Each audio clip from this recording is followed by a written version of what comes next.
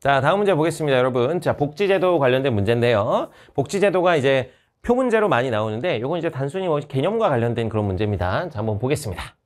자, 갑이 혜택을 받고 있는 제도는 A에, 의리 혜택을 받고 있는 제도에 B에 해당한다. 그럼 A, B가 뭔지 한번 살펴보면 되겠죠. 공공부조랑 사회보험 중 하나라고 하는데, 자, 갑의 사례. 입원 치료가 필요한 질병에 걸린 갑은, 자, 요게 포인트야, 여러분. 가구 소득이 기준 금액 이하에 해당하여 의료급여를 받고 있다, 여러분. 이제 의료급여가 어디 속하는지 알면 뭐 바로 고를 수 있는 것인데 만약 그걸 모른다고 하더라도 가구 소득이 기준 금액 이하다라고 지금 얘기를 하고 있으니까 아 좀 생활이 어려운 사람들을 지원해 주는구나. 소득 수준으로 지원 여부를 결정하는구나. 이렇게 볼 수 있는 이 값이 뭡니까? A가 공공부조가 되겠죠. 이 공공부조에는 대표적 예가 기초생활보장제도가 있고 또 이렇게 의료급여 제도가 있습니다. 여러분 헷갈리지 마실 거. 의료보험은 사회보험이지만 의료급여는 공공부조입니다 자, 그 다음에 이제 을, 노인성 질병으로 혼자 일상생활하기 어려운 을은 뭐 치매 뭐 이런 거 말하는 겁니다. 신체 가사활동 지원이 필요하여 자, 장기요양급여를 받고 있다. 자, 요거 장기요양급여 대표적인 이제 사회보험입니다. 이 장기요양급여는 이제 우리가 건강보험료 낼 때 같이 내는 그 보험인데, 그래서 여러분 장기요양 보험이라고 나오면 딱 봐도 여러분 사회보험인 거 알지만 이렇게 장기요양 급여라고 나오면 여러분 좀 헷갈리거든요. 어쨌든 장기요양 급여, 장기요양 보험 같은 겁니다. 그래서 요거는 사회보험이다. 그리고 힌트를 보면 이거는 뭐 이제 소득 수준에 따라서 이렇게 선별한다 이런 얘기가 없잖아요. 어, 그래서 장교양 급여를 알면 뭐 이제 당연히 고르는 거지만 몰랐어도 소득 기준으로 이렇게 어떤 선별하는 게 아니구나 이런 거 가지고 판단하시면 사회보험이라는 걸 알아낼 수 있습니다.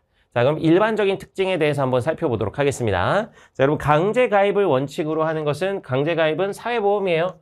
예를 들면 대표적인 게 우리 건강보험 있죠? 그래서 누구나 다 우리나라 국민이라면 누구나 다 가입하게 되는 강제 가입을 원칙으로 하는 것이 사회보험입니다. 그래서 A가 아니라 B가 그렇고요.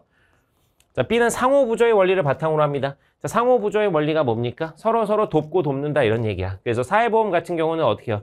A, B, C, D, E 이 사람들이 뭐야 돈을 내 가지고 이 보험료를 내 가지고 보험료를 내서 뭘 만듭니까? 기금을 만듭니다. 그래서 서로 서로 돕는 개념이 들어 있어요. 그래서 이제 A가 이제 아파서 병원에 갔을 때 이 기금에서 지원을 해주는 거죠. 그래서 서로 서로 돕는 상호 부조의 원리를 기반으로 합니다. 근데 이제 공공부조 같은 경우는 국가가 그냥 딱 찍어서 도와주는 것이니까 공공부조는 상호부조의 원리가 아니에요.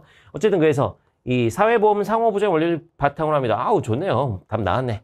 자, 3번 A는 B와 달리 보편적 복제 이념을 바탕으로 합니다. 보편적 복제 이념은 전국민 대상이다 이거야. 전국민 대상. 그런데 이 공공부조 같은 경우는 뭐예요? 소득 기준으로 자른단 말이야. 그래서 요거는 선별적이에요. 선별적. 공공부조는 선별 소득 수준을 기준으로 선별하는 것이고 사회보험이 보편적이죠. 누구나 다 가입을 하게 되니까. 그래서 A는 B와 달리 보편적 복지, 이거는 B는 A와 달리 이렇게 가셔야 되는 것이고 자, B는 A와 달리 소득 재분배 효과가 있습니다. 이러는데 소득 재분배 효과는 둘 다 있어요. 공공부조가 소득 재분배 효과가 더 큽니다. 가난한 사람들 선별해서 직접 이제 지원을 해주는 것이니까. 사회보험도 소득 재분배 효과가 있긴 있습니다. 왜냐하면 그 건강보험료 이런 거 사회 그 사람들의 소득 수준에 따라 차등을 둬요. 건강보험료 많이 내는 사람 뭐 400만 원 이렇게 내는 사람도 있고 일반적인 사람들은 뭐 10만 원, 20만 원 이렇게 내죠. 근데 혜택은 똑같습니다. 자, 그래서 음, 이제 둘 다 소득 재분배가 있는데 굳이 따지면 공공부조가 이제 소득 재분배 효과가 더 크죠. 그래서 어쨌든 소득 재분배 효과가 있다는 건 둘의 공통이니까 달리라고 얘기할 수가 없습니다. 자, 5번 B는 A에 비해서 사후 처방적 성격이 강하다. 사후 처방이 뭐야? 일이 벌어지고 난 후에 처방한다. 이런 얘기입니다. 자, 공공부조 같은 경우는 가난한 가난에 빠진 이후에 도와주기 때문에 요게 사후 처방이고요.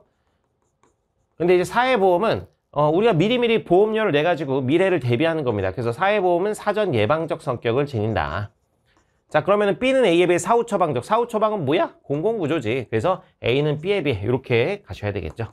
자, 그래서 관련된 거, 뭐, 답은 아까 진작 나왔죠. 정답은 2번 되겠습니다.